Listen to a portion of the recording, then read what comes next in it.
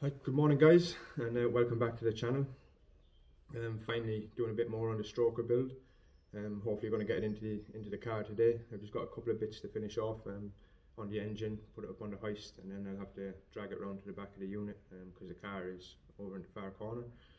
Um, so hopefully I'm going to get that in today and maybe get it running depending on time. I've only got a couple of hours. Um, so once again apologies for the delay with this build. Um, I've been busy with other stuff, customer work, so this is the first chance I'm getting to do a couple of hours on it. Uh, so enjoy watching. Uh, so engine is now outside, ready to go in, the dirty car. As you can see I had to manoeuvre it all the way around and in between these cars. So hopefully it won't take long and I'll get it all in.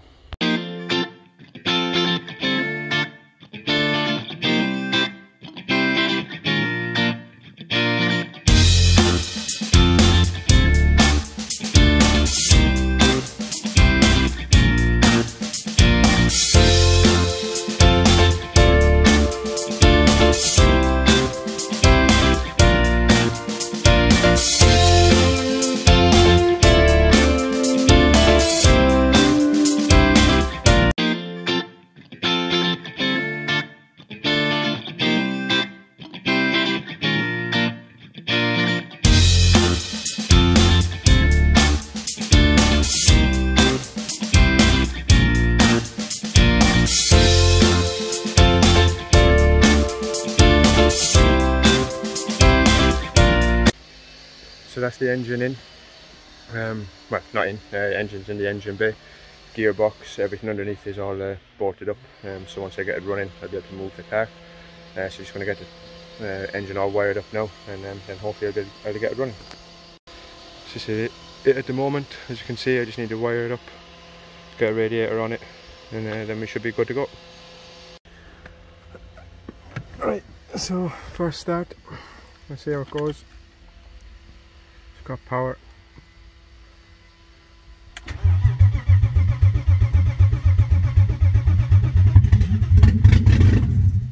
Oh, it yippee.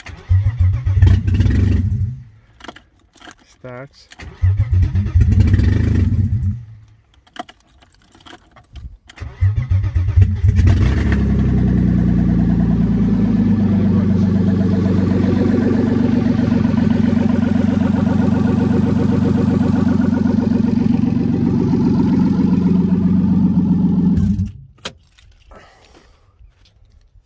so car runs.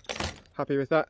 Um, no exhaust on it uh, so obviously it's quite loud and I just have a battery connected up wired up to some wires just to get it running. Um, so it's just finishing that off and it'll be done. So that's it. The M50 B30 stroker build is uh, done. Uh, car is uh, engine is in the car and it runs. I didn't want to run it for too long because um, there's only manifolds on it at the moment and with no exhaust it's way too noisy so I'll get the exhaust on it in the week. Um, I'll bring you one more video just to show you what it sounds like and what it runs like. But that's it, basically finished for um, the engine build side of things. And as I said, I am happy that it uh, all runs.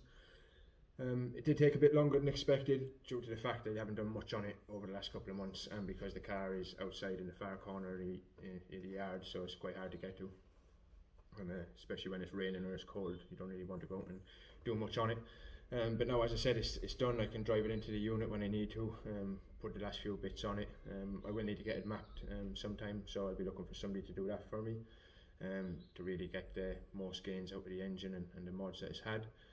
Um, but that's basically it from this series. Uh, thanks everybody for watching and anybody who's subscribed. If you haven't subscribed, make sure you do. Um, the next probably series we'll be doing will be the E36 in the background, which is um, getting a V8. Will be started in the next couple of days so we do a full series on that as well. So um, if you like what you're watching as I said subscribe and thank you very much